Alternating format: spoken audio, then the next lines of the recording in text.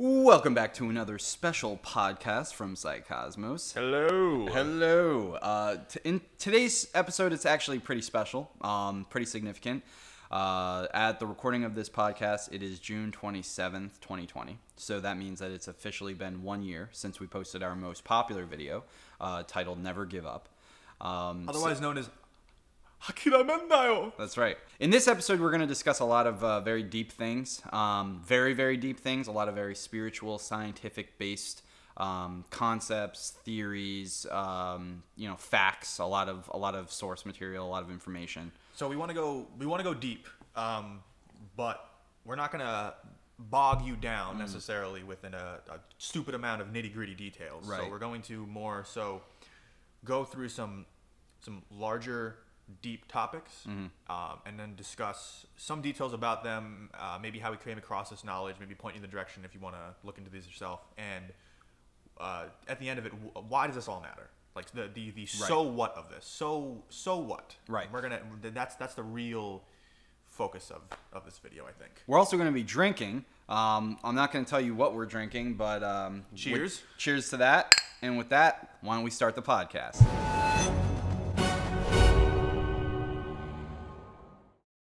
So it's been officially one year since we posted the Never Give Up video, and the reason that we made it wasn't necessarily just to get views. Um, I originally, no, I originally posted um, a video called "Never Give Up Your Way" on my secondary channel called Metal Gear Fro, uh, and it got, you know, I, I made the video in college, and the reason I did it was just because of a friend of mine, um, you know, showed me a couple different videos and song clips, and I was like, okay, well, I'll just put it together and make a stupid video because I enjoyed doing it. I didn't realize that it was going to get almost three million views in a couple of years, and it's, you know, it was going to be flooded with comments from people saying that it helped them not kill themselves. Uh, so it really warmed my heart to see that. And then as I went on my own personal, you know, journey through life after college, you know, working a couple really good jobs, um, having you know a few relationships here and there, making a lot of friends and networking, and uh, just kind of grounding myself as an adult. Uh, I started uncovering, uh, with the help of Rich, of course, and all the rest of the members of Team Psycosmos, I started uncovering, um, we all started uncovering truths about the world, government, the universe, the human body, things of that nature. And it was almost as if these things were given to us. Um, it was like wisdom was kind of dropped from the heavens, I guess you could say. At least that's the way we kind of feel. So the whole purpose of us having it wasn't to hoard it, it was to share it. One of those things um, that we learned was, and it will tie into the entirety of this conversation, I think, is emotion and frequency uh, and how they relate. And what I mean by that is, um, as we'll as we'll kind of go throughout this podcast, you'll learn a lot of different things that you might not have heard, things that you should definitely do research on your own time. But one of which is that positive emotion, motivation, for example, uh, is one of the most powerful things on the face of this earth because motivating people to do the right thing and getting people to accept more positive emotions rather than negative emotions, which is kind of what we're seeing right now going on in the world, that is a big deal. Invoking the inner human spirit of others has always been throughout history a very, very large aspect of living on planet Earth. Um, religion is is kind of a great example that I could use for that. Invoking um, some for, form of emotion within the masses, uh, even if it's fear, which is what we're seeing right now with coronavirus and a lot of other political ploys. Um, but I wanted to create something that was going to motivate others. So we decided to recreate the Never Give Up, uh, and it's been a year, and it's you know over 175,000 people have seen it. I can't even fathom a room filled with that many people. That's bigger than any stadium I've ever been in that can hold that capacity of I would people. never go near that big of a crowd of people. It's it's no a, offense. I love you all, but I don't do crowds. yeah, uh, yeah. Rich is more of an introvert than I am, but even still, it's uh, going beyond that. That's a that's a, a lot of people, and not to mention the fact that we have other videos that have over tens of thousands of views. So more or less, this podcast is more of a thank you. Um, it's more of an homage to you, the the listener. Um, we did do a podcast a few days ago. Uh, this one might come out before that one or after that one, depends. But this one is extremely important in understanding history uh, and more about what it means to be human and about what's going on in the world. and what's going on in the world as well. Um, Because if you only look at the surface level of information, then nothing that's going on in this world and nothing that has, has gone on in this world makes much sense at all. Right, right. And you have to understand from the perspective of what we study here at Psycosmos, the most powerful, the most rich, the most elite individuals, families, and groups of people are studying these things. And have been throughout history. For- and don't let them don't let them kid you otherwise. Right, for thousands of years. And it's been quoted from multi billionaires um, the way that they kind of perceive life on this planet and they perceive their own theology. Um, why is it that billionaires don't go to church to worship Jesus Christ? Why don't they go to temple? Uh, why, why don't they go to mosque? You know, you, th- these are questions that I had years ago. I wanted to know why was it that the the mega wealthy who supposedly have the majority of power who should probably have most of the answers especially from you know and I'm using air quotes here but the peons of society which would be the average person which would be the 99% why is it that they have access to all of this incredible information and power compared to the rest of us well it, it has to come down to a belief structure whether it's habitual or spiritual, whether it's physical or, you know, metaphysical Both. or both. Um, there had to be some kind of secret to success, and there are. Like a real secret. We don't mean Yeah. the the book that you have to spend fifty dollars to, and he basically just tells you.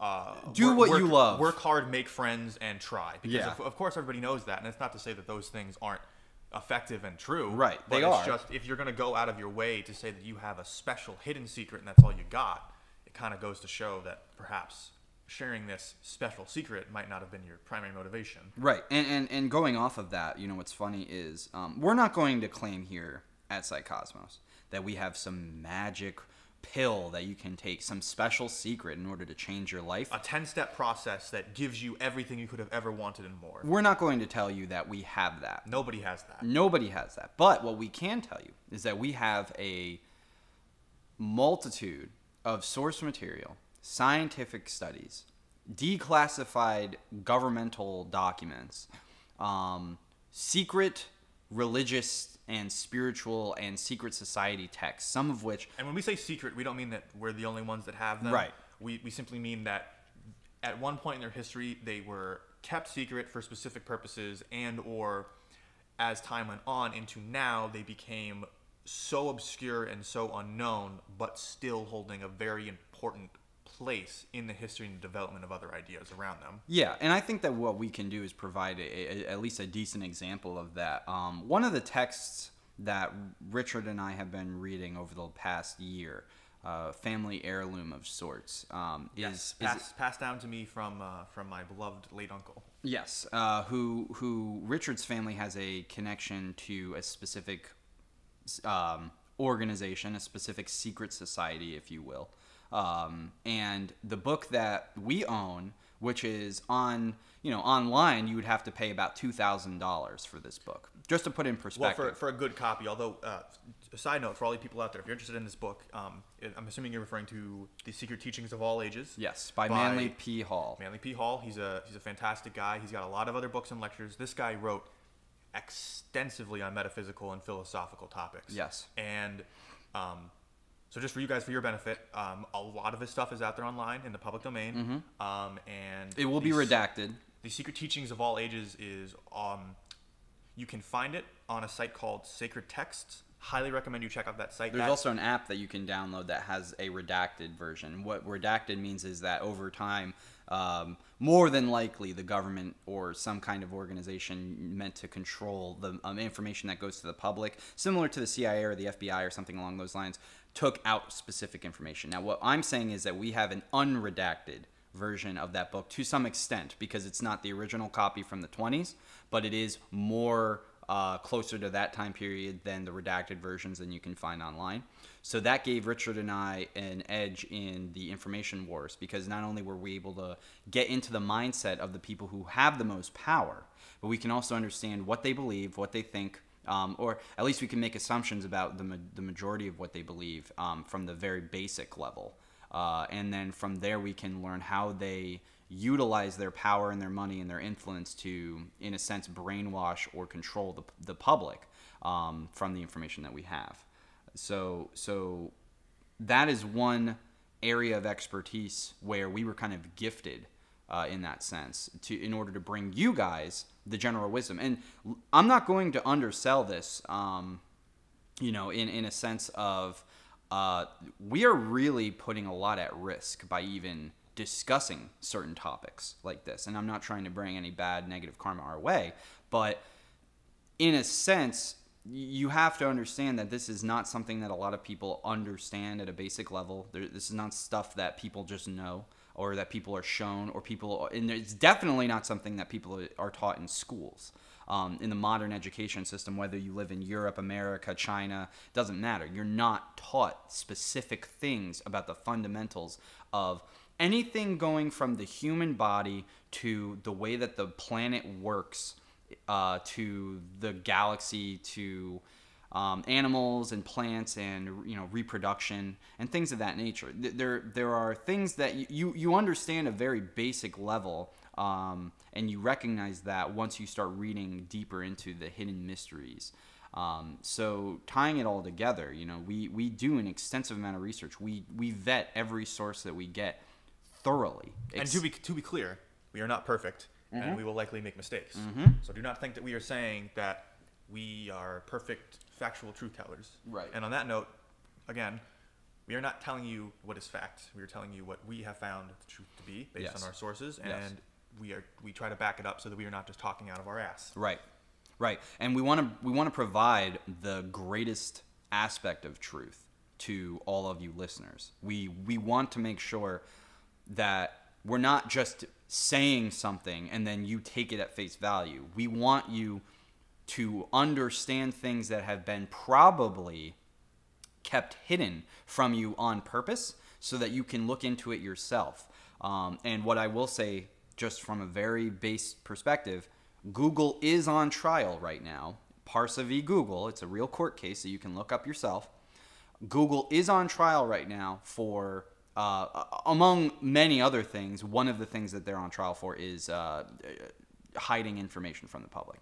So if I you, mean, and, and you you can see you can read Google statements. You can see them uh, being interviewed by various committees in, in Congress, and they will tell you, apparently to your face, they will say that Google participates in no form of altering of uh, search results or the order that they come in, and yet it's common knowledge that you can pay more money to have your to have your your link come up as an SEO, ad or SEO marketing Yes. or or social media marketing, which is in and of um, which is in and of itself manipulating the search results. right. Those are those are just blanket business terms, as as the wealthy and the powerful normally do. They blanket these things in business terms like SEO, uh, search engine optimization, marketing.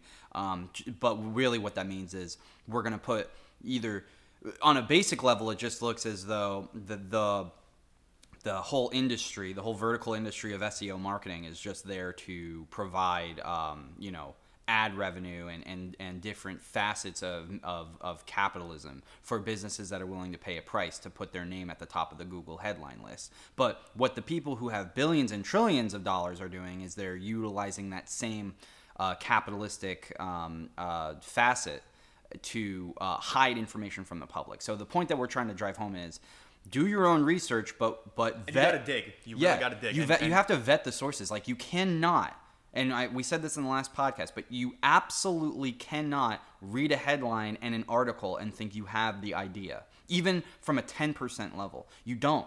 Go to the source. I mean, just I mean, I mean, I mean, sorry, damn it. Um, and I mean, it's not even just a matter of reading the actual thing. It's about really looking at what the person Right. is saying. Right. Because if someone refutes something or debunks something, and they don't actually have a counter argument to it, then that is not that is not a debunking. That is not a refutation, and this happens quite a bit. So you I really, can provide an example of that actually recently. Um, there's a lot of controversy right now. I'm not going to say whether it's true or not. I have my own held beliefs based off the research I have. There's a lot of talk that, for example, the Black Lives Matter organization is going to be giving a specific portion of the funds that they are receiving right now from don- from donations to the Democratic National Convention, which will probably ultimately give the money to Joe Biden.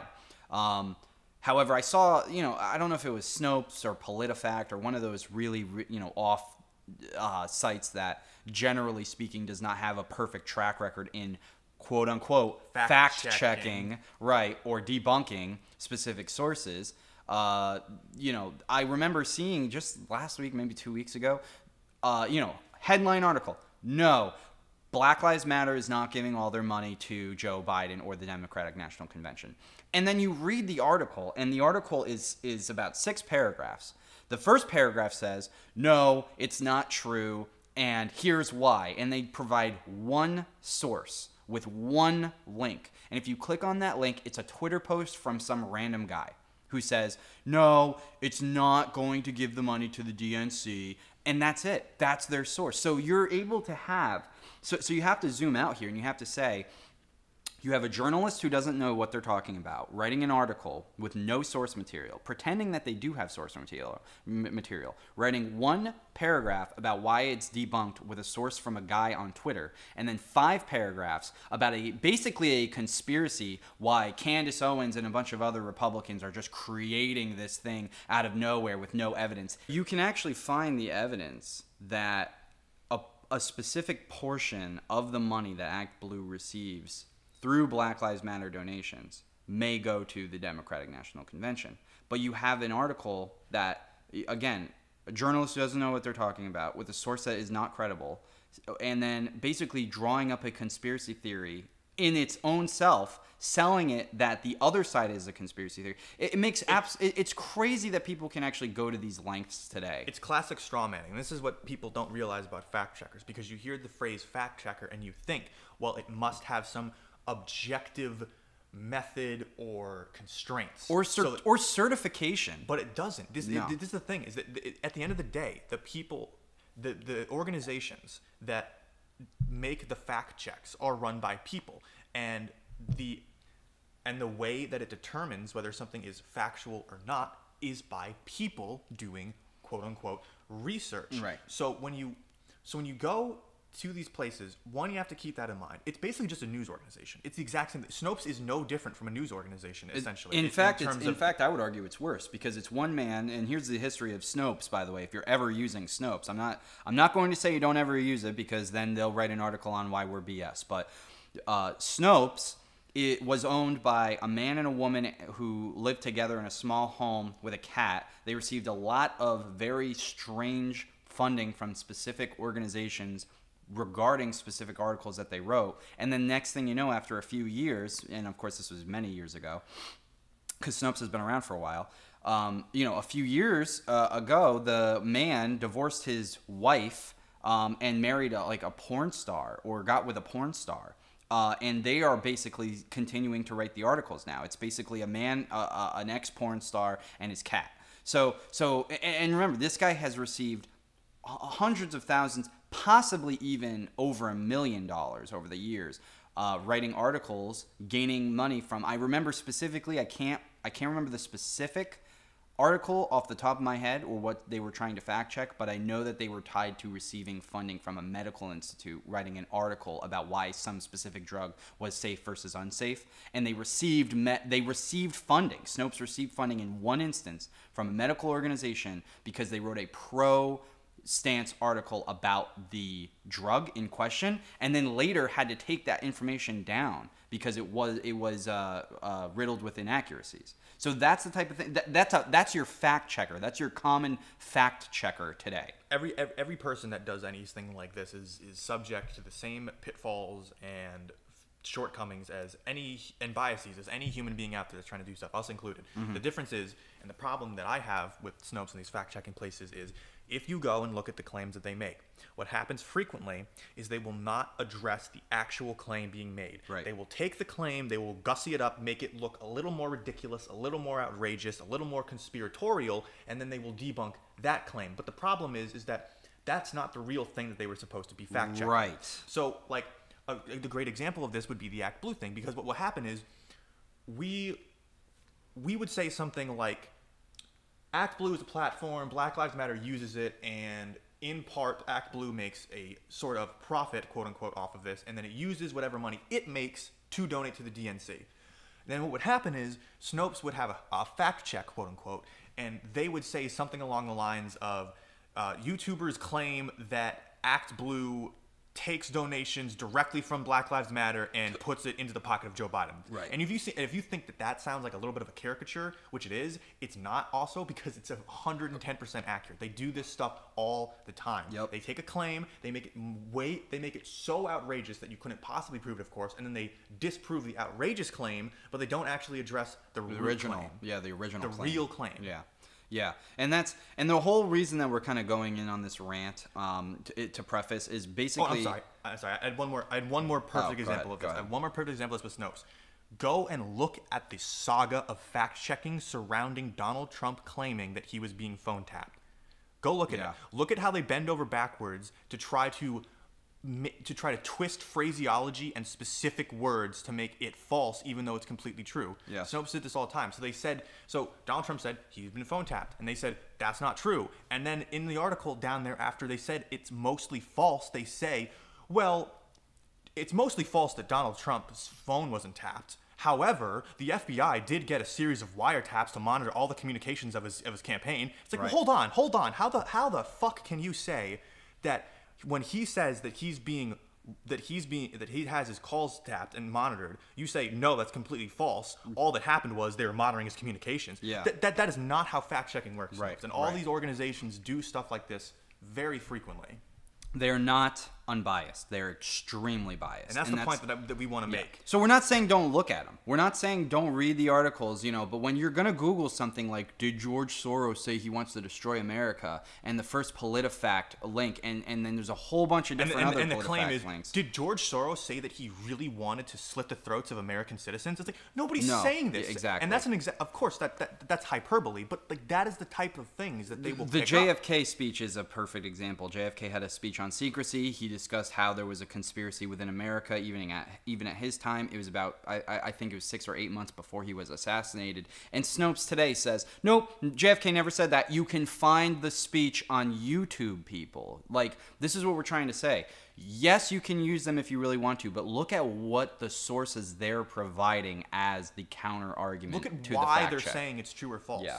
And look at look at the claim. Look at the claim that other people have made, what they've actually said, and then look at the claim that Snopes or whatever fact-checking organization makes, and see how different they are, and then ask yourself why are they so different. And Right. The, and the final point on this is the main reason why I think that these that they, they have so much power is because they have cultivated this this false halo of authority Mm-hmm. where just by virtue of the name fact checker and a lot of it's unfortunately a very common trend where l- language and the name of something is used as as evidence of what It's credibility. uh, evidence of its credibility and evidence of what the members of it stand for. Yes. So for Snopes, you have fact checking. For Black Lives Matter, you have Black Lives Matter. They pick the name Black Lives Matter because, of course, most people in this country agree with the sentiment behind that. Yes. But they use that name specifically so that if you take problem with something that the movement is doing or the leaders are doing or specific members are doing and you point this out,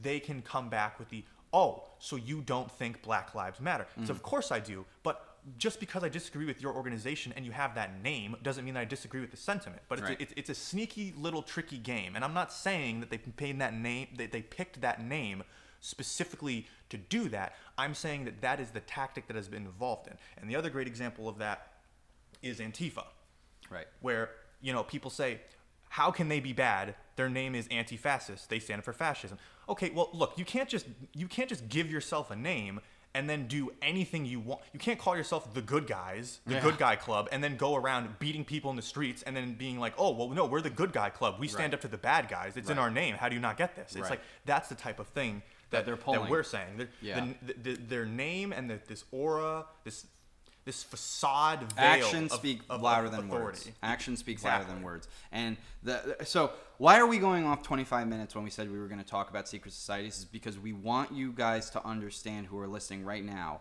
how diligently we do our own vetting and source sourcing for a lot of this stuff. Now You- this you got to do this. this is years of us doing this in the making. Okay, we we are in our mid 20s and we have been doing this research since we were in college. Just to give you perspective, we have been looking into shit like this for a very long time. We've been following the the the breadcrumb trails for a very long time. I specifically was very heavily involved when everything was going on in 2016 for the uh, the Trump election. I was I was there when I was able to see WikiLeaks providing all these emails and reading through them and un- asking myself, why is Hillary Clinton saying that they're ordering $65,000 worth of hot dogs or pizza? Or, or why is Barack Obama saying they're going to get $80,000 worth of chicken?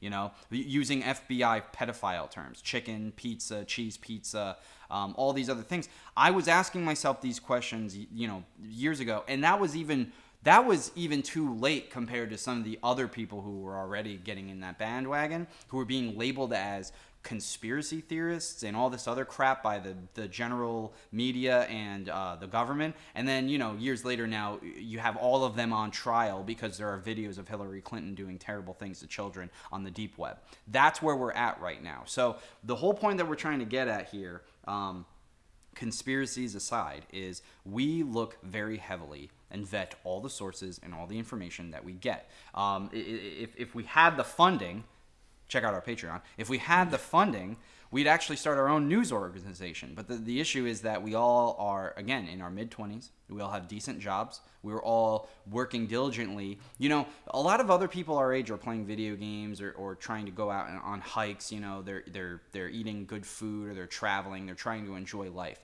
We're trying to basically uh, save as much of the sane minded world that is left as best as possible. That's what and expand on it. and expand on it and try to i mean one of one of the things that we really appreciate is is the old the archaic old the library of alexandria our whole goal is to hopefully get to a point where we can have another one of those so the whole point of team psycosmos One that won't burn down. Right, one that won't burn down by by by the Romans and Julius Caesar and crazy Christian extremists. uh, the point I'm trying to get at here is we have done so much research, so much effort every single day for years. This is not just something that we wanted to pick up and decided that we were just going to do one day and try to um, you know, try to just oh well maybe it'll work, maybe it won't kind of kind of thing. This is something where we really we're really trying to get a message out.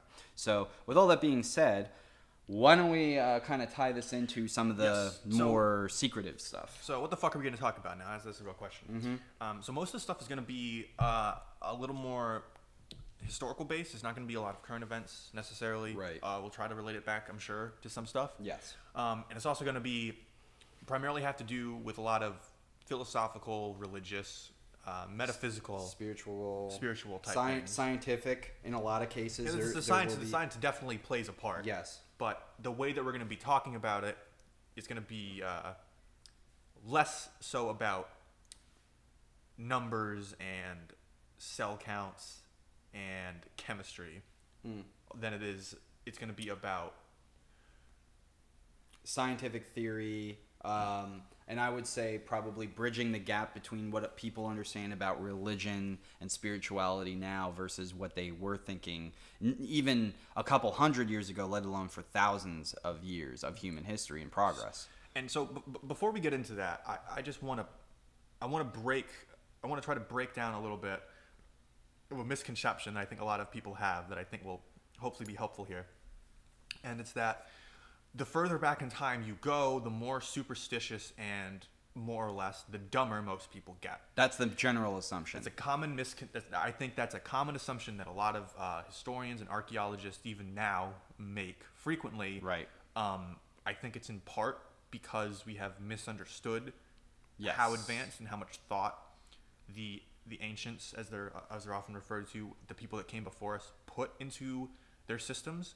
And I think it's also in part, much smaller part, I like to think, but in smaller part, I think it's because of a sort of uh, a sort of arrogance yeah.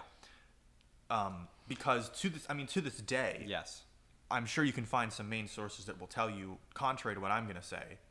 But to this day, there is no good working theory or explanation for how precisely something is something as simple, grand, and beautiful as the pyramids were built. Something that simple, something Right. sim- that simple of a question, we still don't know. Supposedly. And archae- allegedly. and archaeologists have theories, and they they archaeologists and historians have theories, and they have and they say these theories with uh, I, what I think is an undue amount of conviction, but they do so because I think they have a hard time coming to terms with the fact that perhaps these people that lived thousands of years ago had technology or a system or a method Right. of doing things that today by our standards with all of our technology and expertise we would we we could do but it would be very difficult very very difficult Right. and i think that a lot of people they they can't handle that Right. they want to think of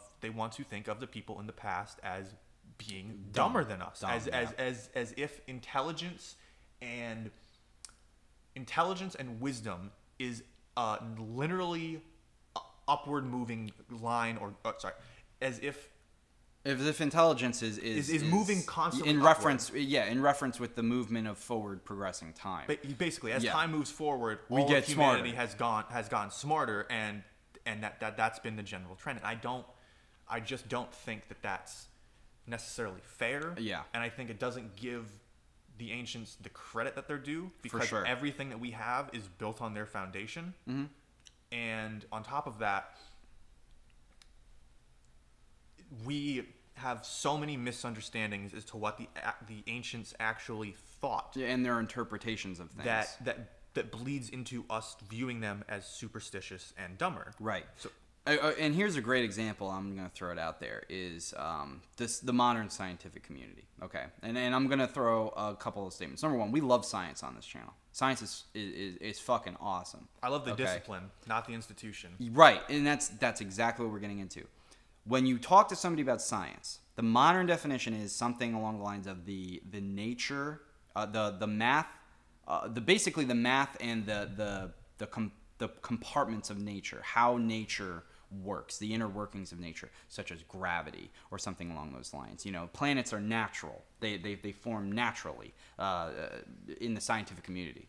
Um, so, thus, you know, an electromagnetic sphere or gravitational, um, you know, pull. Those are those are scientific terms that uh, explain the nature of these things. But for for much much longer than science has been around, this was modern or not modernly, but but anciently referred to as magic with a K or um, or or God's you know essence or God's presence, thing, things of that nature. It was it They would even they would even sometimes refer to their own discipline as a science or an art. Right.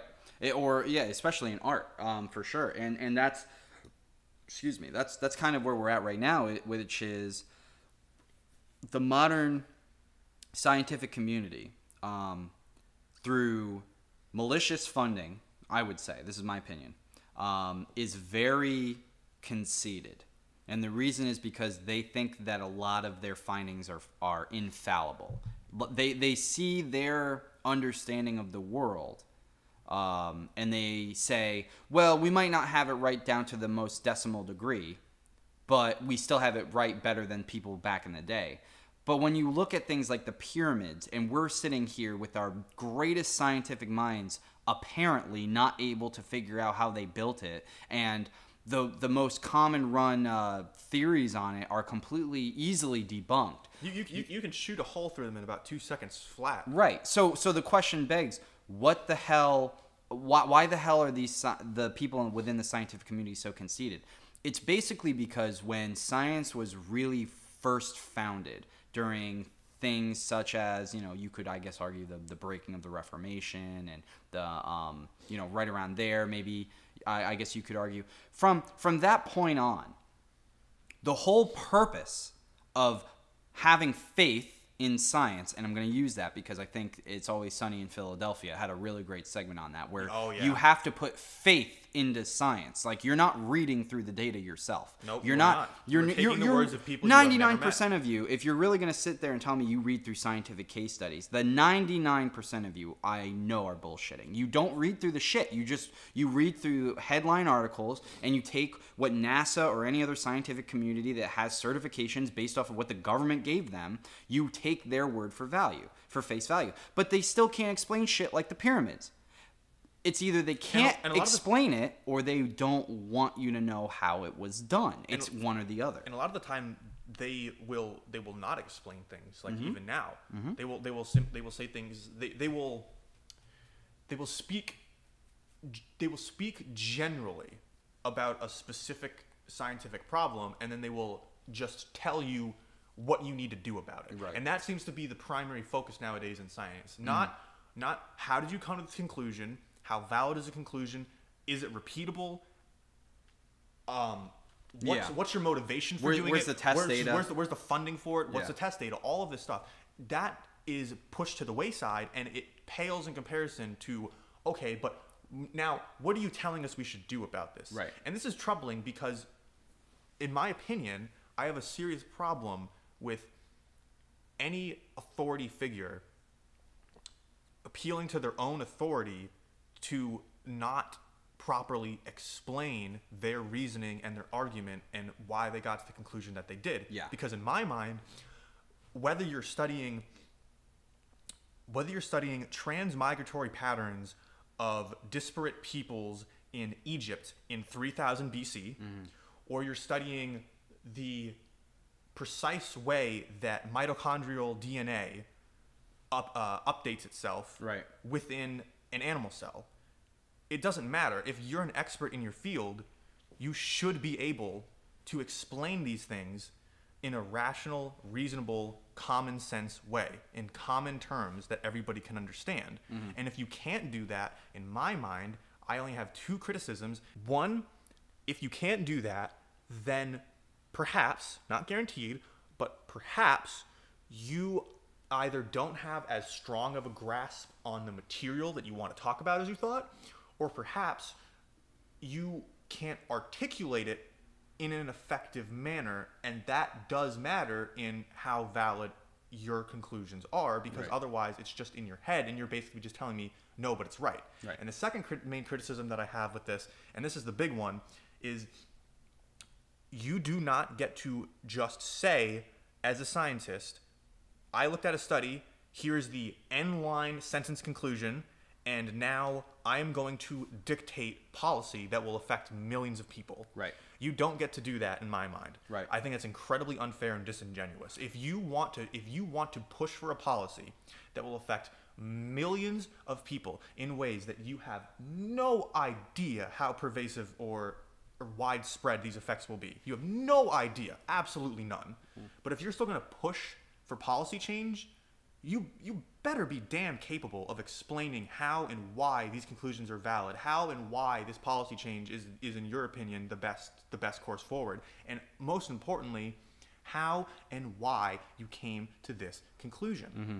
And and the issue is that there many of the times, you know, if you go and you trace back claims and scientific case studies and things of that nature, you'll find that the information that's actually very heavily um, difficult to understand. but if you get through littered it, with jargon. if you get through the jargon, um, then you're able to find that a lot of what the common misconceptions about scientific theories are actually not as far well thought out as as you might think. I can give a very good example. The everybody knows Sir Isaac Newton. He came up with the universal law of gravity.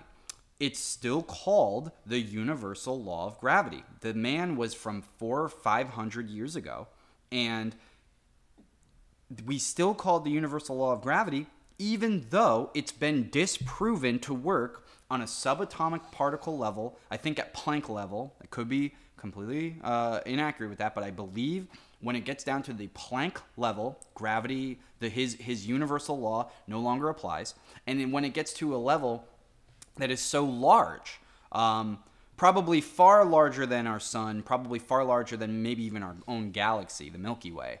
Um, once it gets to a certain part of being so large, it, it, it doesn't work either. So the universal law, and I'm, again, I'm using these air quotes, it's called the universal law, as in everything within the universe should work based off of this e- equational function.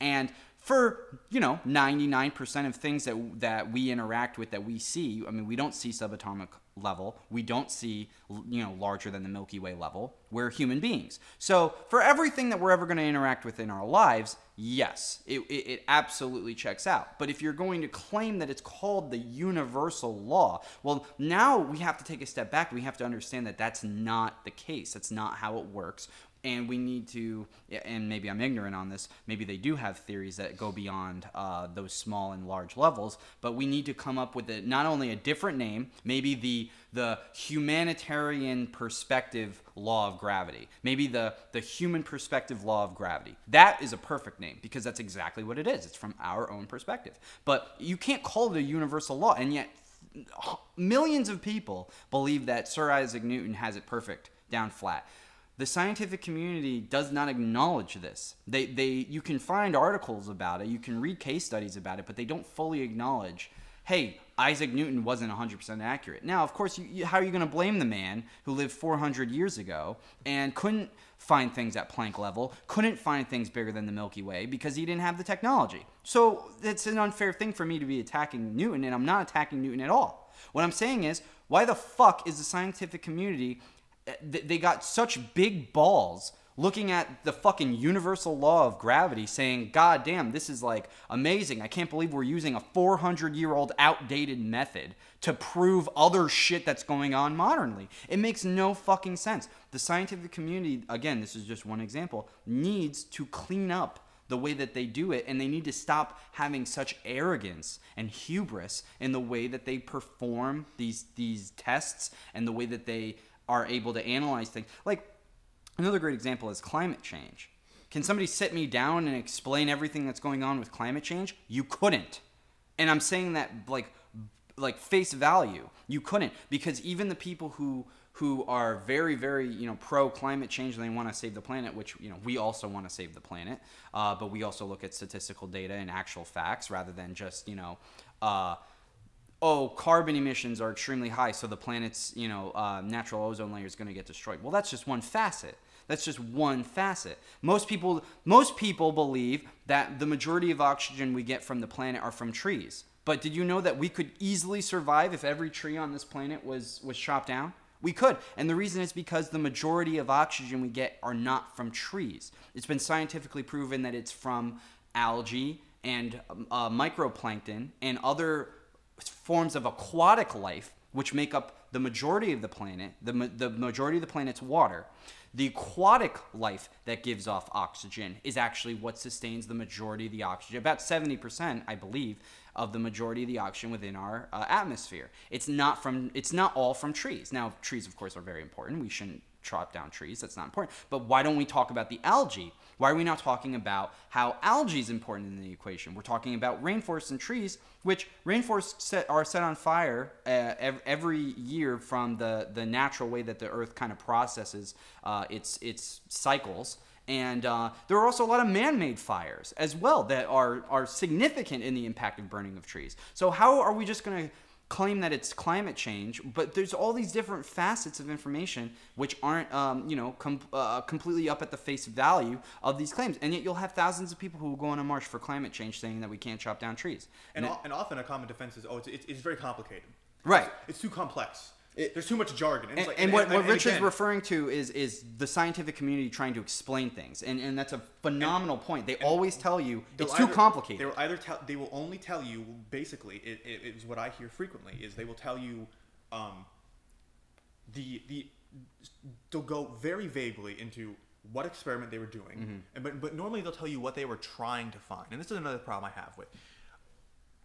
I get it. The the goal of science is you want to find out something about something. So you formulate a hypothesis and then you test it. But what happens a lot is the hypotheses that scientists put forward are so specific and it's it's not even a matter of we want to find out how how X interacts with Y, and my hypothesis is that if I do something to X, it'll interact with Y in Z way. Right.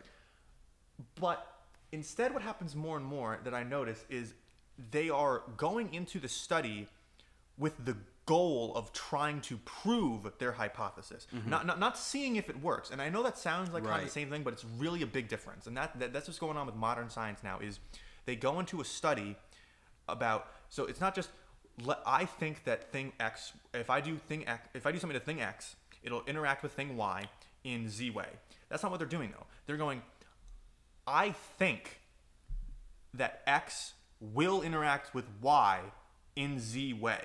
And I'm gonna and I'm going to study if that's true. That's a, that's a little bit of a different thing in a mm-hmm. significant way because now, first of all, your your goal is to not test your hypothesis. Your goal is to prove your hypothesis. So now you might have a different you might have more of a tendency to ignore contrary evidence uh, or evidence that is contrary to your hypothesis because you might view you might look at it and think, well, this doesn't prove my this doesn't disprove my hypothesis. This was just this was just one piece of evidence. This was just one little thing. And if i can find more evidence to support the hypothesis than against it then it must be true. And th- that's not how it's supposed to work my guy. Right, and and and going off of that phenomenal point, by the way, um, the another great example is if you take a look at uh, torus fields versus um, what the actual subatomic particles look like. So you were probably taught in school, if you were taught a, a standard education, standard world edu- education, uh, what an atom looks like. And I'm sure if I, as I'm saying that, you're probably imagining what it looks like in your head. It's you know a ball. Uh, The ball- Jimmy Neutron atom. The Jim, the Jimmy Neutron atom, the ball-like shape with a, a bunch of um, you know smaller little orbs all compact together with a ring around it that has an electron that goes you know around and around and around.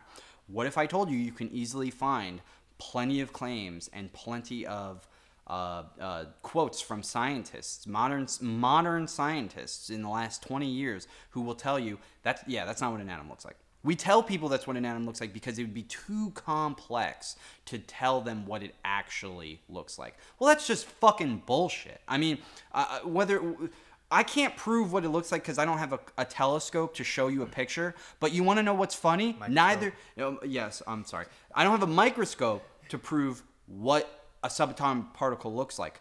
Neither does the scientific community, apparently. They can Have you ever actually seen an actual picture of an atom? No, you haven't, because one never. They don't exist as as of 2020. They don't exist. So and this is uh, sorry i want to go into this too because now we're getting into a, a- another thing where we uh, another great example of science sort of ignoring contrary information. Right. and a great example of this is related to atoms and it's related to subatomic particles and it has to do with the uh, i think it's called the special theory of relativity. So i'm not very familiar with einstein's theory of relativity to, to be frank. I don't i don't know much about it on a technical level. But what i do know is that in recent years even when einstein was still alive scientists were discovering discovering evidence of subatomic particles behaving in such a way that directly violates the laws of of quantum of, uh, of quantum mechanics of, of, of, of Einstein's theory of relativity. Right. And one of the main one of the main pieces of this that's really interesting, and you should definitely look into this, is hold on, I have to look up the exact. The exact thing. That's fine because I, I have one pulled up right here. Uh, you know, while Rich is pulling up his uh, one of his sources for the Einstein thing, I can tell you personally, you can go and find this declassified CIA document that discusses atoms and torus fields. Um, the specific subject title of the CIA document is "Analysis and Assessment of the Gateway Process," uh, and it is approved for release 2003, um, September 10th. It's dated June 9th, 1983. Okay, so we're talking about they were discussing the actual the actual design of atomic particles in 83. This wasn't declassified until 20 years later, and people still are taught what an atom looks like in high school, uh, you know, high school and middle school, to be something completely different. This is CIA RDP 96 00788 R001700210016 5. Department of the Army. I know that was probably a lot, but that's the source right there. If you really want it, you can go look it up yourself. You can find it yourself, and you can read about torus fields in relation to electromagnetism. And that's and that's significant because let me tell you, the U.S. government, especially at top secret program level, they do not sink time, money, and resources into something unless they are very convinced that there's a high likelihood that they will get something out of it. Exactly. The U.S. gov. You, I understand that a lot of people have opinions on what we spend our money on and everything, and I get that. But strictly speaking, within the U.S. military, especially for projects like these that involve a lot of time Mm-hmm. and manpower and resources, you have to be at a specific location. Have to- Millions of dollars. Of they funding. take it very seriously and they do not like it when people waste their time with bullshit. So they do not just entertain these notions just well let's just see what happens. I mean whatever. No, no, no, no, no, no. They if they if they go forward with this project it's because they have a good reason to believe they'll get something out of it. And what normally happens is they have these projects open for years and then they end up getting shut they end up getting shut down and then the government just kind of throws their hands up in the air and go, "Ah, man, we didn't find anything." Yeah. That's a bunch of nonsense. You're if you're going to tell me, "Oh, okay, so you kept the program going for 20 years and then you didn't find anything." So then why would you keep going for 20 years? Are you saying that in that entire 20 year span, you just kept getting feedback that was the equivalent of, "We haven't got anything yet, but we're still looking. We haven't got anything yet, but we're still looking." That's and you not let that how go it on for works. that, that's not how it works at all. And also, you got to think if they found something they wouldn't tell you this happens all the time Right. all the time the government does this the Right. government mk ultra perfect example like i'm sorry we're getting off topic here but government does stuff all the time and it says that it's not going on and it's completely untrue up to years after the program ends Right. and then more years and years later it finally admits yeah we actually did that thing Yeah. and by then, it's either lost interest or people aren't aware of it or aren't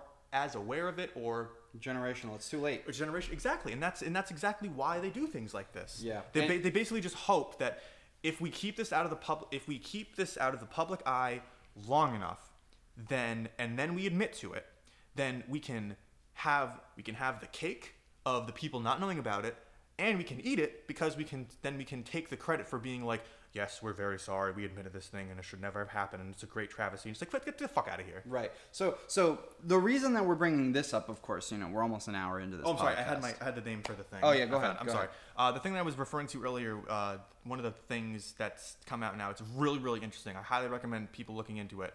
Um, it's a little bit hard to understand with a lot of the jargon. I'm not saying that as an I can't explain it to you, although I can't. What I'm saying is it's tricky to read through this stuff because of the way that they choose to write about Right. it and the jargon that they use. Yep. But basically, the long and short of it is there's this there's this phenomenon it's called quantum entanglement and it directly flies in the face of Albert Einstein's theory of relativity or at least part or at least part of it and quantum entanglement is more or less when particles or objects but it's normally it's normally a phenomenon that's common with subatomic particles they when they're in close proximity and they have a relationship with one another they sort of they go through this thing called quantum entanglement. And basically i'm butchering it because i'm not a science so you're going to have to forgive me with my common language. But more or less the two particles rub off on one another and they each get a little bit of the essence of the other one is, mm-hmm. a, is a good way to think of it mm-hmm. and so what then happens is these two particles can go across vast distances in the universe and yet, when thing happens to particle A, it will happen to particle B instantaneously. Yeah. It's, so it's so crazy. These, so these things react to one another through this phenomenon of quantum entanglement and in such a way that you can't even view the two particles as completely independent of one another anymore. Right. And this is something that actually happens. And the reason that it just, at least in part, spits in the face of Einstein's theory of relativity is part of his theory is basically the the further away you get from an object, the less the further away one object gets away from another object, The less, the uh, less inf- influence, it has to a point where basically if you get away far enough, the influence is so negligible as to be virtually virtually zero. v- virtually zero. Yeah. And on top of that, if, as you know, Einstein also has the thing where there's nothing faster than the speed of light. But this directly violates it because one, it's practically instantaneous. The, Right. the, the changes between regardless of the distance. regardless of the distance. So you can take light year travel out of the equation. and and then on top of that, it, it also so so for those two reasons, it it it sorry for those two reasons, it has huge problems with with Einstein's theories of relativity. Mm. And even when Einstein was alive, and some of this evidence was beginning to come up, he basically ignored it. Yeah. He couldn't deal with it. He Yeah. refused to accept it. And this is this is what I'm getting at, as in that is not a unique outlier. Right. Because one stuff one, that is Albert Einstein. So if he is going to be the paradigm and the and, and the model for what a scientist is and what a, ge- a scientific genius is, that's fine. But then I'm also going to use him as a model for the potential flaws of Yeah. scientists in that he, he developed a theory that was so brilliant, so wonderful, and that fit so many pieces of the puzzle together. And so many people thought it was absolutely brilliant that when he started finding direct scientific evidence that pointed out problems in the pieces of his puzzle, pointed out holes where some of the pieces didn't fit together, he just ignored it. Mm. And that is the that is the that is the death of science right there. Yep. And we've been doing that For a long time. for a long time ever since and, and this is what happens because you you people don't understand that uh, between biases reputations pride vanity mm-hmm. And, and, mo- and, and- most of the and funding money. grant and grant funding Most of the time you, it's you money. need to you need to prove what you said you were going to prove eh, to continue your work and to continue getting grant money because of all of these things scientists today and they always sort of have this but especially more so today they have a vested interest in proving or disproving whatever is most profitable for them along those different facets Yes, and and um, I personally have worked on Wall Street in the past. Um, I personally have worked for biz, big businesses and small businesses alike, uh, and I have a pretty decent career. Uh, I would say that I've set for myself. But in that comes the experience of understanding the back end of how money influences things. I've worked for large billion dollar corporations in New York City. I've worked I've worked for small businesses that have worked heavily with the government. I've actually worked with the police in the past on on um, technology related projects for uh, surveillance and things like that. So I actually have a semblance of understanding how slow and disorganized and completely bullshit the method of basically trying to prove certain things or get funding to show scientific evidence and data.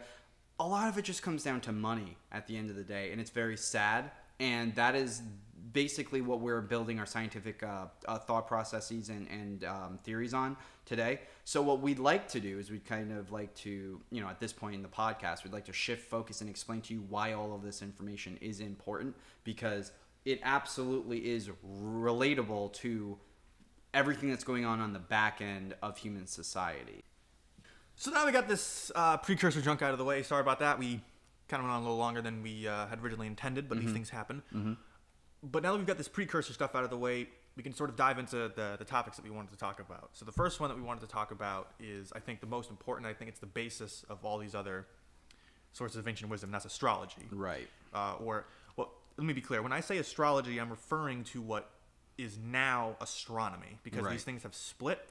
And nowadays, astrology is mostly associated with uh, daily horoscopes reading, daily horoscope readings, and sort of what I would call a trivial, shallow understanding of things like sun signs and the influences of the planet and so on and so forth. Heavily based in superstition, more than likely, and, and probably more so a psyop, the psychological operation to deter people from actually looking into the science of the stars, if that makes sense. and and whereas nowadays the role of astronomy, which is actually scientifically observing and tracking celestial bodies, although nowadays it's more of a focus on deep space, but previously in the past, uh, astrology was the science of tracking the movements of celestial bodies in the sky for the purposes of knowing everything from the changing of the seasons to uh, to influences of the moon on tides and even menstrual cycles to determining even to even determining things like omens, which may which, which may or may not have been true. Right. But the point being that the the people that first came up with this system of astrology, it is completely overshadowed and under under unappreciated how brilliant these people were to figure this stuff out, how much time Yep. and intelligence and focus they must have had. Right.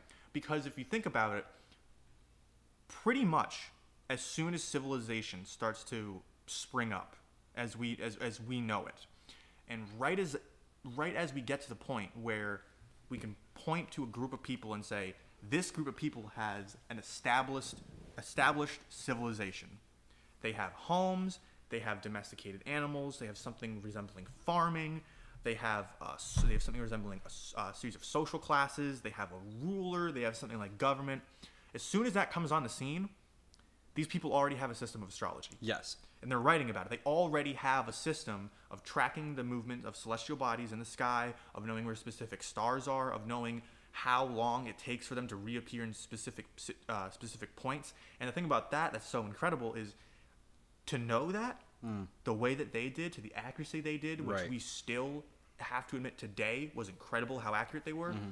That must have taken generations upon generations, just like just abs- an absurd amount of time to actually be able to prove it. Because if you think about how long it takes for a planet to go full go through a full rotation, if you will, and return to its same place Right. in the night sky in the same sign, and that takes a, an incredible amount of time. Right, and Rich is making a, a number of wonderful, um, uh, you know, factual sharings with with you guys, with the community. But um, to zoom out, I wanna I wanna discuss why exactly you know Rich Rich and I are so kind of stubborn on the importance of this. Uh, and, and mainly it's because everything that you do today revolves around these processes that they made thousands of years ago. You don't believe me? You want proof? How many months are there in a year? There are 12. The same as there are the number of zodiac signs, generally speaking. Um, the same number, uh, uh, 12 is actually very, very sacred number. Uh, 12 followers of Jesus, 12 apostles, 12, 12 tribes, of Israel. That's another one. Um, and that's only that's only in the Judeo-Christian faith. I mean, um, the the there are roughly 30 days every month. Month stems from the word moon. It, it comes from that word because a revolution of the moon cycle takes 28 days. You know what else also takes 28 days? A woman's period and ovulation cycle. One full cycle of that.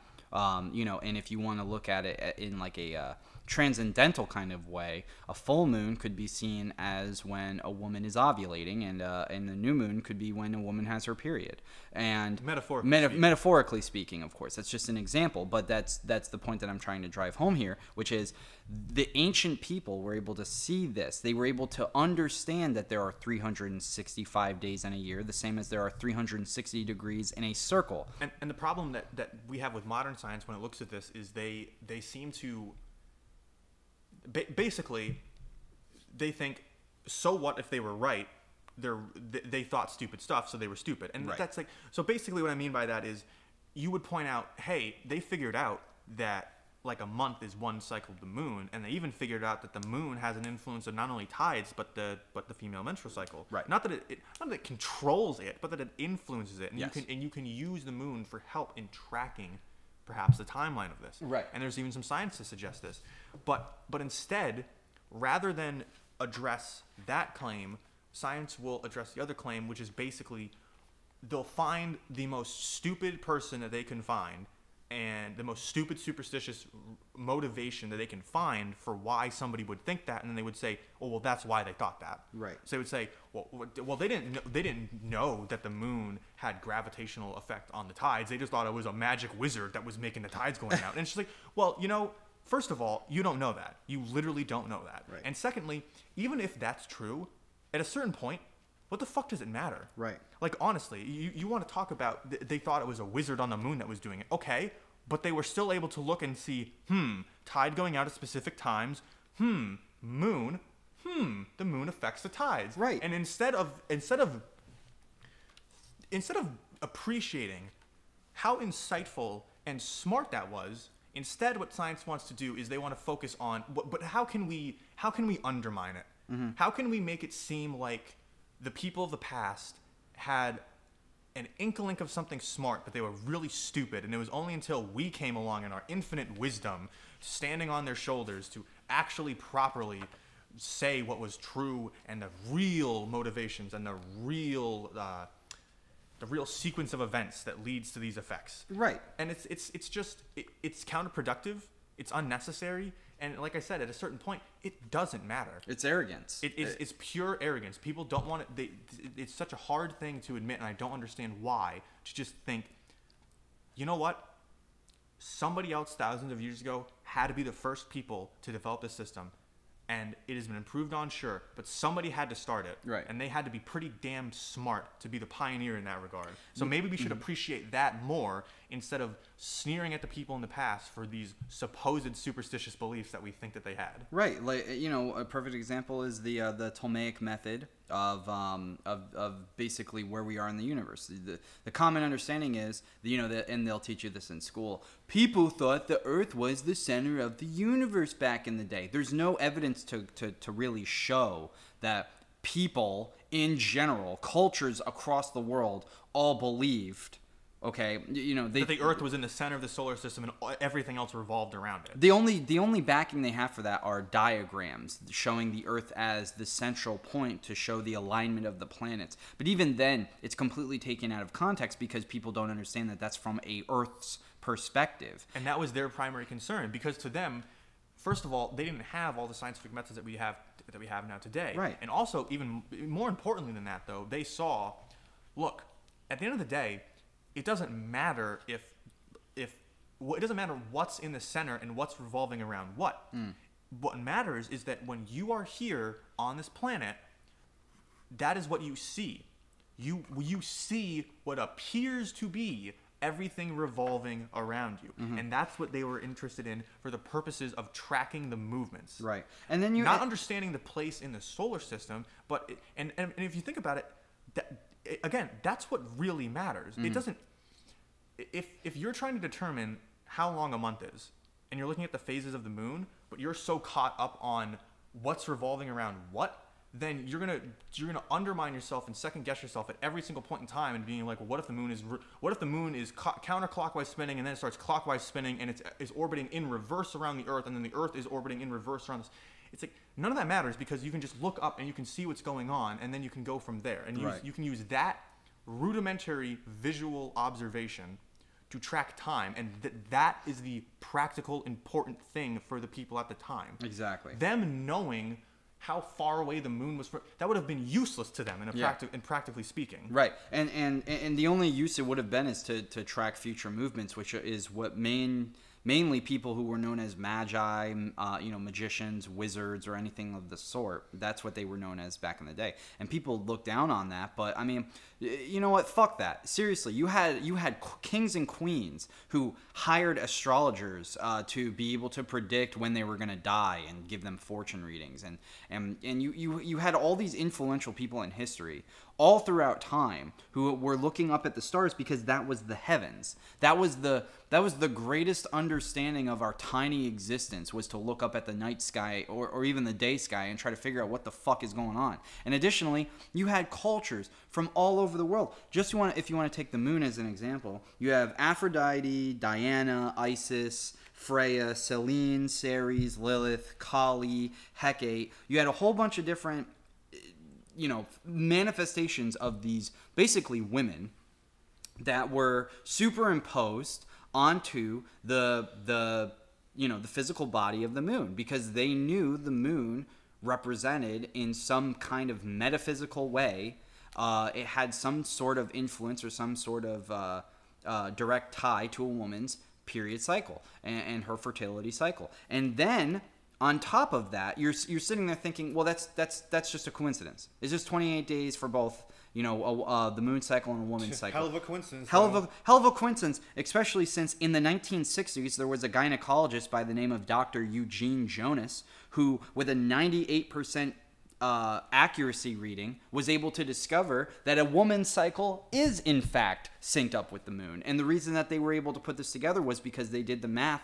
on when the woman was born in relation to their ovulation cycle, and they found that 98% of women who they studied this was before birth control. This was before birth control was is able to regulate the cycle. It was shortly before birth control actually because birth control was was released in the late 60s early 70s. So right around the time that this Slo- Slovakian gynecologist started experimenting with thousands thousands of women and they had a great control group, they had a wonderful study and they proved beyond a reasonable doubt that the phase of the moon that a woman is born in the day that so if a woman is born on the full moon for example, okay, her birth date of that year fell on a full moon. After she hits puberty, the the every single full moon, if she's not on birth control, if she's not on something that's gonna you know make her cycle irregular, or she doesn't have some sort of disease, that's why it's 98% accuracy.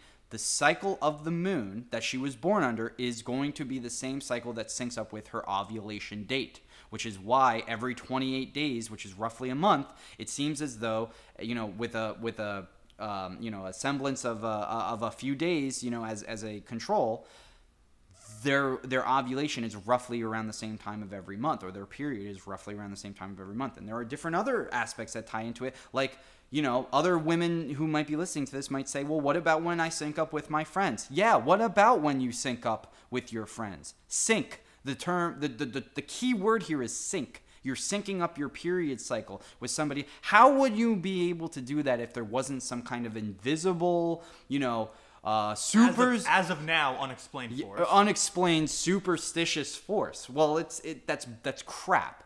It's crap. There's science. There's real legitimate science here that we can bring to you. We can actually get into that uh, some of it right now. I mean, there are the, the CIA document that I declassified earlier in this podcast, the one that you can look up and find for yourself, the one that was declassified in 2003, that they were studying in the 1980s. Project Gateway? Project Gateway discusses Kundalini energy. Now, Kundalini is an old Sanskrit word. Uh, it's a concept that the Hindu and the Indian people of today are very, very big on. And it's basically the physical manifestation of energy within the body and most of which is through meditation, yoga, and um, you know positive spiritual practices. Now, what what is what the fuck does that mean? What the hell does that have to do with anything? Well, can it be proven in science? That's another great question. Uh, there was a man in the 1940s named Wilhelm Reich. He was brought over from Germany after World War II in the uh, very famous Operation Paperclip, which, if you don't know, um, Operation Paperclip. You don't, if you don't know, the U.S. government decided, hey, you know all those Nazi scientists that we said were the most evil scum on the face of the planet? We want them. We're not going to try any of them for anything that they did. Instead, we're going to hire all of them, and then we're going to put one of the top Nazi scientists, uh, Wernher von Braun, in charge of the entire NASA program. Right. So. you had all of these incredibly gifted Nazi scientists, and, and, and not saying anything positive about the Nazis. I'm saying specifically about the scientists involved. The government did not try these people, as Richard said. Some of these men who were brought over performed disgusting acts, crimes against humanity, against groups of people disgusting acts. They were experimenting on human lives. But we brought them over anyway, and we decided to keep them and not try them. One of these men was known as Wilhelm Reich. You can look him up if you'd like. He discovered what he coined as orgone energy. It's a physical, it's, it's, it's an actual physical part of your body. Um, scientifically speaking, uh, after Richard and I looked into it a little bit deeper, um, what he was basically talking to what, what we were basically talking about was the vibrational frequency that your body resonates with in order to sustain itself. For example, your heartbeat. That's a physical proof that your body has to have some kind of electronic input, pulse within your body. And scientifically speaking, what happens is the brain tells the thymus gland to tell the heart to tell the actually specifically the brain tells the thymus gland to tell the SA node attached to the heart to pump. And that that first bump out of the bump, which is your heartbeat, is that electronic pulse. The secondary electronic pulse is after your heart uh, flexes the blood, and then it sends it back up to the brain, telling it, "Yeah, we pumped." And that goes on in your body, uh, you know, thousands of times a day. Okay, but that heartbeat creates a vibrational frequency in correspondence with your brain, in correspondence with your thymus gland, in correspondence with your spleen as well. Your spleen is actually a very important organ in this entire aspect. You might think that the spleen is useless, but you'd be fucking wrong. All of these organs create a harmonious balance and blend of what uh, uh, basically of like an electromagnetic sphere around your body. Now, here's the thing that might blow your fucking mind. Wilhelm Reich only put it on paper scientifically. That's all he did. He did not really necessarily discover this. Um, this is not some kind of concept where the scientific community was unaware of this. Okay? This is something that the ancient people, Freemasons, Rosicrucians, um, Hermetists, and Gnostics, uh, the, the Babylonians and the Chaldeans, they, the Egyptians were really big into this. They hypothesized and understood this concept. The Egyptians called it Atum, for example, or Adam. Sound familiar, right? So you have all these ancient cultures which have understood the very basic principle of we have some sort of invisible energy that we're able to produce. Uh, we understand it as heat on a physical level. If you touch somebody, you feel heat. No, it's a, it's it's a form of very minor uh, radiation. If you've ever been sitting in a room and you and somebody you didn't like walked in the door and you got a really weird gut feeling, like your stomach drops, or if you've ever felt um, you know, like you didn't want to be somewhere, uh, or you ever, or you ever had a bad feeling of something. You know, the, the the the concept of understanding the feelings and emotions. It's not just on a chemical level. We're talking about frequency and vibrations, which are scientific concepts. And by the way, what happened to Wilhelm Reich? He was imprisoned under false claims. No claims and charges were put against him, and, the, and then the FDA was responsible for burning and destroying all of his work, as well as executing him a couple years after he was imprisoned.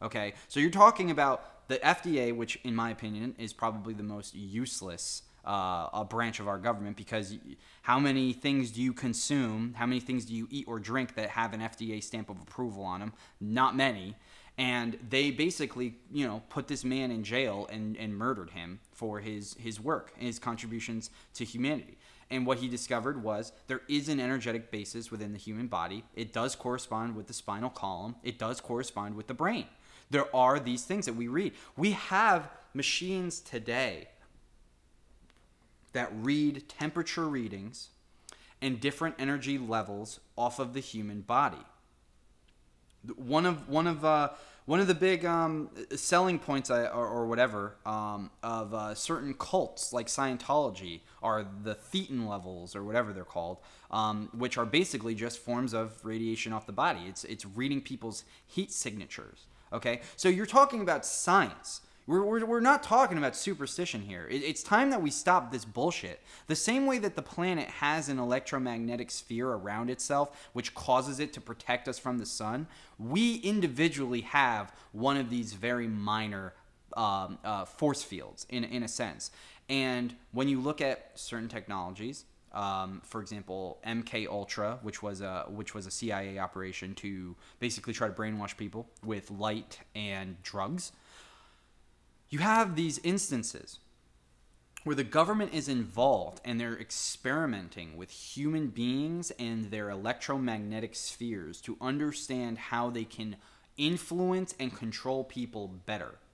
And is it is it any coincidence that you know decades after all of these studies are performed in the you know the 60s the 50s 60s 70s 80s and 90s of, of the US government and the governments of the UN Okay, is it is it any coincidence at all that as soon as all of those projects were over and the and the documents were declassified, that we started getting cheaper prices for televisions, or that we started seeing cell phones in everyone's hands tempered with glass and quartz?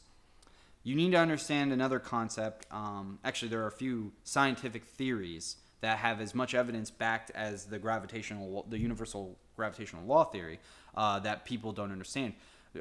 one of which is cosmic radiation theory. I'm sure we can come back to that one, but but but the one that I want to focus on, the electromagnetic or plasma universe theory. These are theories that are heavily rooted in scientific evidence that the scientific community just completely ignores.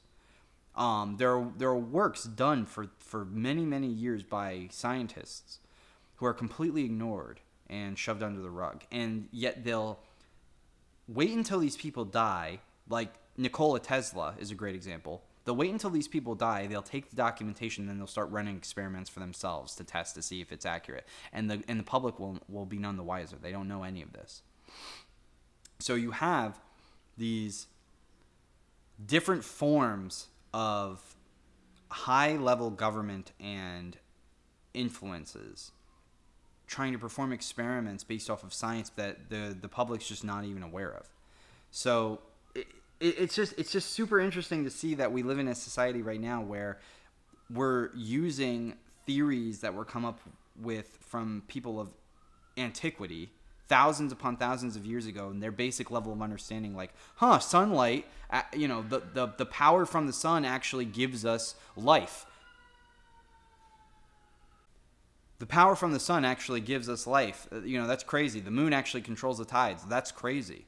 You know these are these things are crazy. How does it affect human beings? Is it any wonder to know you know is it any wonder that we see cell phones in the hands of every single individual and the concept of piezoelectricity is still accurate. Basically, there's a there's a scientific property called piezoelectricity, which says that as atoms are crushed together into tighter elements such as me- metals or crystals, they hold energy a lot better than things that are um, looser in their atomic structure. So mechanical stress will produce an electrical charge. Right. So And there's, there's even crystals in your brain that have this property. Funny enough. many of which are made of manganese and and also the dna structure according to jeremy narby who wrote a book called the cosmic serpent the dna structure has two strands that intertwine and then a middle strand of proteins but that middle strand of proteins is basically quartz-like in structure it's basically got the same uh, elemental com- uh, composite construction uh, um, uh, structure of quartz, which is a crystal. Why is this important? Because DNA is able to not only store information, but also send information like a signal. And then it's also funny that quartz to this day is still very commonly used in electronic pieces, TVs, computer- cell computer phones, chips, computers. all this sort of stuff. And on top of that, it's also the most common mineral type in the world. Yes. So, So, there's so there's numerous types of stones and crystals out there that if you read into it is actually just another form of quartz. right, and now, and now we get into the concept of jewelry. Why why do people like jewelry? Why is why are rocks so expensive? if They're just rocks because they're not fucking just rocks. People wake the fuck up. There's a whole entire market for moldavite and amethyst, and uh, you got billionaires and millionaires paying thousands, hundreds of thousands of dollars for gemstones that they believe are going to give them great luck or fortune or power. And you can you can ascribe to it superstition or the rarity of the stones or Whatever, but you're not paying attention if you yeah, do that. the- the- or you could you could even chalk it up to these stones are so valuable because people think they're so valuable. And it's like, yes, but at the end of the day you have to ask yourself the question, you really have to answer, okay, but why? but why? Yeah. Even something is even with gold, even with gold it's still The gold question. standard, our entire economy is based off of the gold standard, is it It's not? like, what is so what is so innately valuable about gold itself? Right. And the- answer is there's Nothing. Really, truly, very little. But yet we choose it as such an important thing. And the question is why? And then the follow up question is could it be possible that there are properties to these things that we don't fully understand that give them that that encourage us to value them instinctively or to such or, or, or reflexively and then we try to explain it by talking about how pretty it is or how rare it is or we put value Something- into it something on a very- value into it Yeah, something very physical. something that really explain it It- It's something that's just based off of our senses, but if you haven't been paying attention, what we're trying to convey to you is that there are things that are beyond our senses that we interact with every day. You want to know a perfect example? Wi Fi, 5G technology, cell phone towers. These are things you cannot feel, see, taste, touch, or smell, and yet you know they're real. You're being bombarded by electromagnetic waves every single day. Constantly, all the time. You know they're real. You know it exists because you take advantage of it every fucking day, and yet you might be the type of person who sits there and says, "No, it's not real." Crystals and metals they don't hold you know value even though women and men in their own you know separate instances are completely fucking enthralled with them.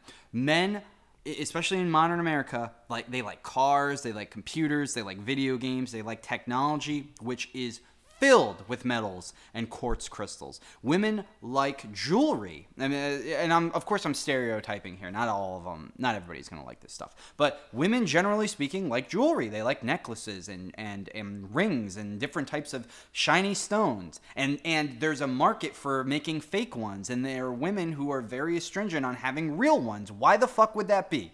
Why would it be that women want a diamond ring when they're getting engaged to? Why can't I just get them a McDonald's Big Mac? Okay, why can't I just buy her buy her a fucking cheeseburger? Or at the very least, if she wants something that's gonna last a long time, I'll buy her a picture. You know? Why is it that I have to spend thousands of dollars if I want to get engaged to a woman? I'm not. I'm not venting, by the way. Uh, I'm just saying in general. Why is that? because these things have different values. For example, diamond rings, they believe diamonds are able to hold energy because they're so tightly knit. They're they're they're they're some of the highest compact carbon. They believe t- diamonds hold energy, electricity, uh, better than other elements. So when you put a diamond ring on a woman's finger, it is supposed to m- represent the long-lasting, uh, nurtured, and you know, uh, deeply held love energy of the relationship. That's actually what diamond rings were originally constructed to be. In the you know, even though it's fucking hallmark shit, even though birthstones based off of the month you were born, uh, most of which is just hallmark crap. And the jewelry the jewelry industry has changed it at least a few times. Right. It- The, the whole point being, there's still some semblance of truth and reality in the fact that people, especially the wealthy, especially the rich, see a positive net result from hoarding crystals and metals. This is why people used to hoard gold. There's something about it, there's something deeply innate within it. And what we're trying to explain to you is the scientific properties of such a thing. Now, all that being said, um, what does this have to do with religion and secrets? Well, secret societies, um, and there have been many throughout the years, secret societies in general uh, have been a major point in human history. Okay, you have Freemasons, Rosicrucians. Um, you have ancient societies that go back, uh, you know, to, to before the Chaldeans, even, which are you know six thousand years ago. Um, before the flood of Noah and the Epic of Gilgamesh, which are the same story essentially. Um, before all that, there there have been members of antiquity which have come together who believe basically believe they were special in the same arrogant way that the scientists believe that they're special today. Members of antiquity, which would come together as conglomerates um, of both men and women, it, it wasn't just a men thing, and they would discuss different ways in which they could, uh, you know, some some of which wanted to help humanity, some of which wanted to control humanity, and that's the basis of it. And what we're seeing now um, is an uncovering of that, or as the the members of antiquity who discussed the book of Revelations and discussed the apocalypse and the end of the world, not necessarily the destruction of the planet Earth, but more so the destruction of what the human society saw as reality. We're seeing the uncovering of that, the veil of Isis being lifted, as they would describe. Thank you for listening. If you enjoyed this little podcast segment, make sure you like and subscribe. Comment on the video your thoughts or anything that you want to say or add to it. And make sure you also check out our Patreon uh, as well. We have a lot of nice things coming out. Um, specifically, we're working on a book uh, right now. And um, make sure you check us out uh, on our shop when that comes out. We're going to have a bunch of nice merchandise. And um, support us. You can also follow us on Instagram and Twitter. And let us know what subjects you guys are interested in in uh, wh- whatever it is let us know what you would like to hear us talk about or what you want to or what you what you talk about and what you think is important just just whatever Yep. Let us know down below. Thanks, guys. We love you. love you Take care.